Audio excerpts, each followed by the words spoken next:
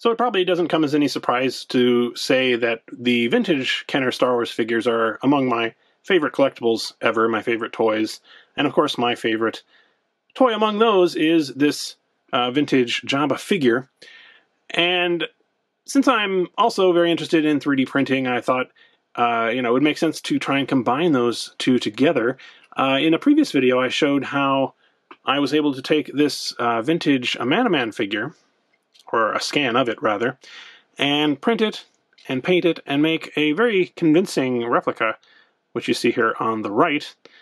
And I was wondering if I could do the same with Jabba. I did not, unfortunately, have a 3D model to work with, so I got in touch with uh, Desert Octopus, who is the guy who scanned the Amanaman figure that I made in that video, and a bunch of other Kenner Star Wars and other vintage toys and stuff like that. And I ended up sending him uh, one of my many vintage Jabbas to scan. And he did, in fact, do that very quickly and made what I think is a very impressive scan, very highly detailed.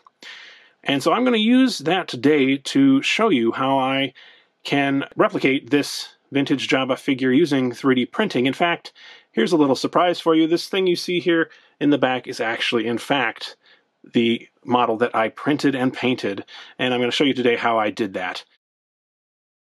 The model I showed you a second ago was all one piece, but the actual model I'm printing for this project is split up into various parts. As you see here, we have the head, body, tail, arms, and a pin that goes between the tail and the body there. I was kind of lucky that the original figure was split up in this way because all of the parts basically fit on the print bed of my Elegoo uh, Mars and Longer Orange 30 Resin 3D printers.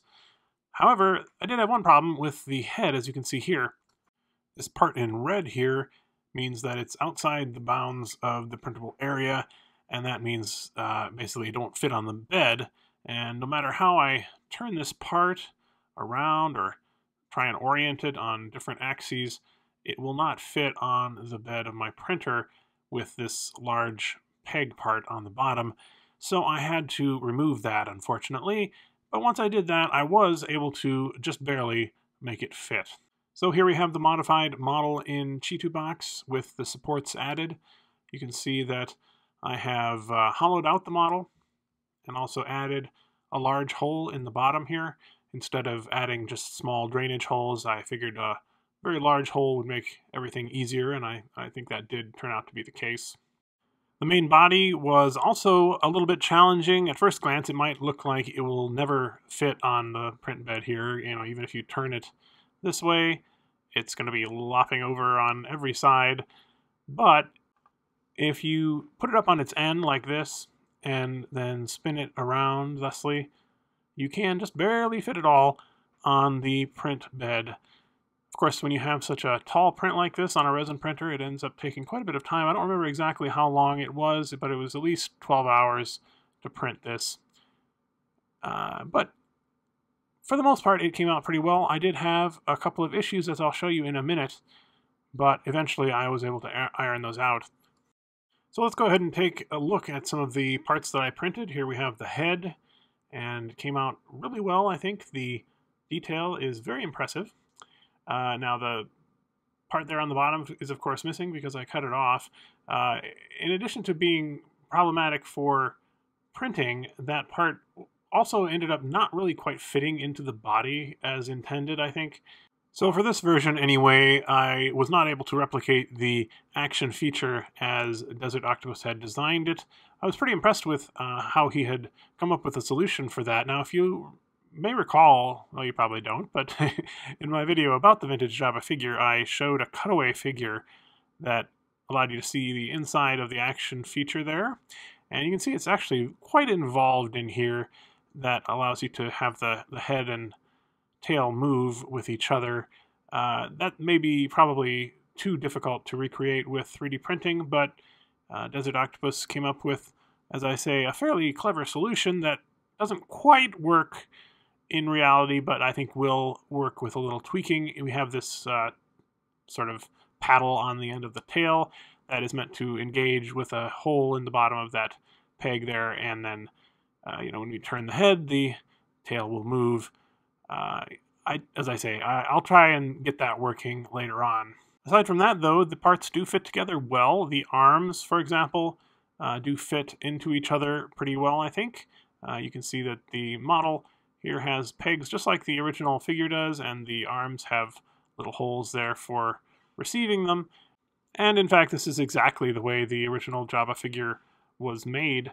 Uh, the only difference, of course, is that the arms and the head here are made of a more rubbery material than the body is, so that uh, it has a little bit more give than this very hard plastic here.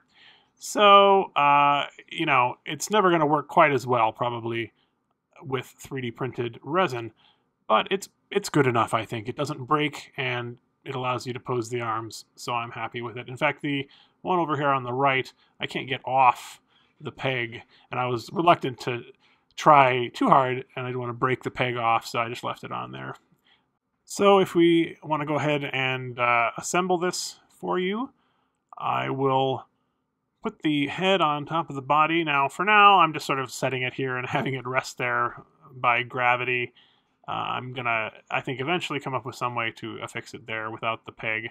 The tail, at first glance, looks like it won't fit in there, but you can squeeze the body just a little bit, and there's enough give in the resin that it does fit in there and actually fits quite well, very similar to the way the vintage figure fits. And you've got this hole here where you can uh, put the peg. Now, I ended up printing this at 100% and it's a little too big to fit in, so I had to trim a little bit of the peg away. I would probably recommend printing at 95% or something like that. Uh, you know, just it's very tight even with a little bit of trimming, but I did get it in there. And there we go. We got the whole thing together. And it looks quite impressive, I think, in gray, actually. Now, I did have a number of problems printing this at first. Uh, to give you one example, this was an earlier version that I printed of the body, and you can see that there's a big hole in the bottom there. That was because I had it oriented uh, upright like this, as I showed you, but it was a little too close to the unprintable area, apparently, even though I don't think it's actually showed that on screen. And, you know, just left a big hole there, unfortunately. I also had the tail fail a couple of times until I realized that you need to have the uh, paddle end sort of facing upward instead of downward. Uh, you know, just little things like this. But I did eventually get a model that I was pretty satisfied with. Recreating the vintage Jabba figure in this way was kind of a challenge that I set for myself, but in reality, it's not something that I really need to do. You know, it probably ends up costing more, and it's definitely more work than just, you know, using one of the original figures. They're not super valuable or rare or anything. Uh, but, you know, having a 3D model of this figure is very useful though because you can change the model, print it at different sizes, make different things out of it. And so uh, while I was at it, while I was printing some things, I decided to go ahead and print this at some different sizes just to see what it would look like.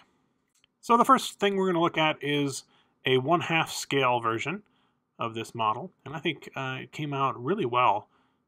You can still see all of the detail there. You may recall that in my 3D printed Amanaman video, I printed him at one half scale as well, which is what you can see right here. So, you know, they look kind of cool together. I definitely think that one half scale seems to be a, a nice, uh, you know, medium scale for these vintage figures to be printed at, and I'd like to explore that some more in the future. Here we have one quarter scale, I believe, and you can still see all of the detail pretty much there. I was pretty impressed by that. Now, one thing I should mention is that both of these models, unlike the large one, have been uh, sort of all joined together. The parts have been all joined together by Desert Octopus at my request because, uh, as you may recall, the body on the large Jabba there is hollow to begin with. And if you have a hollow model like that that you print at a smaller scale, it's going to have uh, just paper thin walls basically, and it'll be too too thin really. And there's no point in doing it that way. So I just asked him to uh, give me a version of this where it was all sort of connected together, and I'm hoping that he'll be able to make that available to people who buy the model as well. I'm not sure about that. It definitely did make it easier to print these just all at one go instead of trying to deal with a bunch of microscopic parts like arms and things like that. I'll give you a little closer look at the one quarter scale version here. And I do think at this scale you can still pretty much make out all of the details, but when you go a little bit smaller, like with this one, which I think is probably one tenth scale, I can't recall for sure, uh, you know, it's, it's starting to struggle a little bit as my camera is starting to struggle to focus as well, but you can, if you look closely, still see the details. The final one I tried printing was, I think, 5%, although I wouldn't swear to it, and it is just incredibly tiny, and it's kind of reduced to just the body and the arms. But, you know, you can still sort of tell what it's supposed to be, which is impressive in and of itself. So anyway, now that we have all of these printed, I uh, I want to go ahead and, and see if I can't paint them to look like the actual vintage Jabba figure. So the first step was to just spray these with a gray primer. I might have chosen a white primer if I had it available to me, but this is all I had at the moment. And this is just a, a regular primer, as I said, as opposed to a filler primer that I use with some other projects. We don't want to fill in any of that detail. And this just helps the paint sort of stick to the figure. Once the primer had dried, I decided to go ahead and use one of these smaller scale ones as my tester, just because it would be easier to cover it all with a little a bit of paint, and if I made a mistake, I wouldn't be hard to cover it up. And I'm using these uh, Army Painter War Paints, acrylic paints, but really any acrylic paints will probably work just fine. I didn't end up, using most of these. This was just uh, sort of experimental. I was trying to duplicate the color of this plastic here, which is sort of a weird mustard yellowish brown color. And then also we have on the front, which you may not be able to tell, uh, there's actually a little bit of yellow paint on the actual vintage Jabba figure. You can see on this one here, the cutaway one, it's more yellow. They put a thicker layer of paint there. There's a fair amount of variation from figure to figure. You can see the back is more of a brown, whereas the front is a a yellow, and that's because of the paint. So I'm going to try and recreate that same color scheme and you know general look of the vintage figure as closely as I can. First of all, I tried mixing one of the lighter browns and some yellow, and then I decided uh, to go with oak brown and yellow, and that seemed to be a good combination to use. I believe I'm using demonic yellow in their naming scheme, but really any sort of primary yellow would work. And we combine those two together to get what I consider to be a pretty decent match there. Uh, you know, I did adjust it a little bit as I went along. As I mentioned in my Amanaman video, the uh, the first layer is always going to look terrible, pretty much, especially when you're using a darkish gray primer as I am here. It's going to show through and it's going to look bad. But, you know, just do a single layer and then come back and do another one on top of that, and maybe another one on top of that, and you'll have nice coverage. So that's what I did here. And then I was able to concentrate on maybe adjusting the actual coloring uh, a little bit better. Once I thought I had the basic color down, I went ahead and did the smaller figures as well, which didn't take very long at all. This one here, and of course the tiniest one in particular, were almost laughably fast. After finishing a couple of coats on the little figures, I decided to go ahead and paint the big one as well. But the process was pretty much the same. Just put on a couple of layers and try to make it as smooth as possible so it doesn't look like it's been brushed on. If I put this back on the body, you can see that there is a difference between the coloration of the head and the body there, and I'm going to go ahead and add that to his belly as well. I found that adding a tiny bit of red to the paint helped me get the uh, exact color that I needed, especially for the highlight areas. And here you can see I'm just kind of taking the paint and putting it in, you know, strategic places and highlighted areas. Not actually trying to add highlights per se, because we don't want to make this look like a realistic Jabba. We want it to look like the actual figure does as much as possible. So just kind of going in there, adding a little of the uh, orangish yellow there. It's a subtle effect, but you can tell in person. I didn't realize I wasn't recording when I started painting these eyes in, but basically I just uh, painted them red and then added a little bit of a, a, black pupil in the middle there. The actual vintage Jabba figure has a kind of transparent lens over his eyes that I tried to recreate by applying some gloss coat over the eyes. This goes on milky, but it will dry clear. I did have to put several coats of it on to make it thick enough to really see and to kind of resemble the lenses on the Jabba figure. And I did the same for the smaller scale versions as well.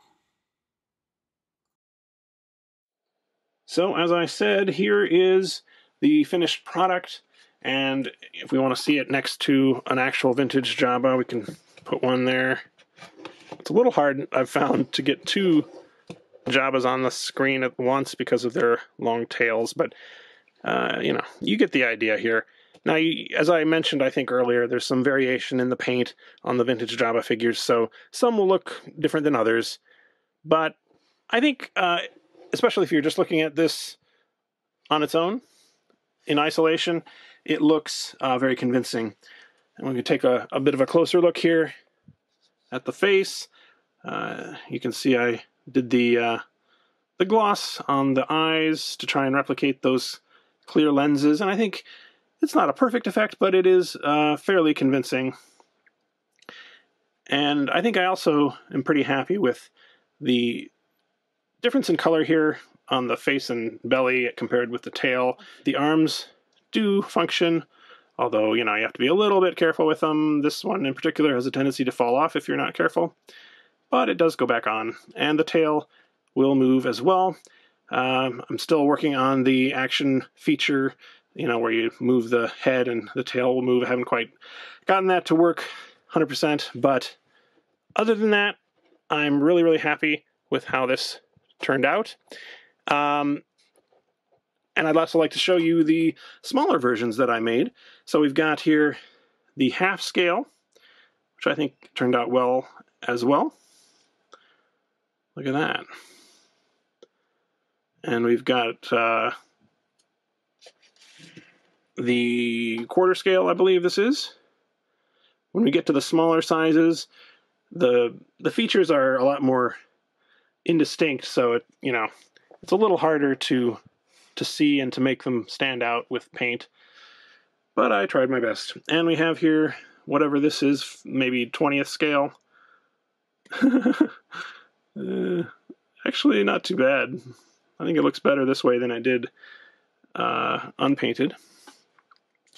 And if I can find my teeniest, tiniest one, here it is, almost lost him.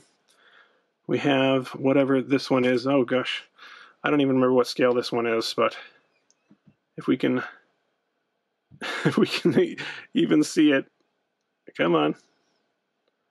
There we are. I'll try and have it focus there. There we are. He has little eyes on him. And, you know, given the size, the detail on this is actually pretty impressive. So there we go. All of these guys are 3D printed. And I think, you know, the color and everything, the look overall is what I was trying to recreate. So I'm pretty happy with that. In future videos, I'm going to show some maybe more out there versions of this, not just trying to replicate the original look of the figure, but maybe trying some different uh, materials and things of that nature. If you would like to print one of these yourself, I will put the link to the Cults3D page where you can purchase this. It's not very expensive. I hope you enjoyed this look at using 3D printing to recreate the vintage Jabba the Hutt figure, and I'll see you again very soon.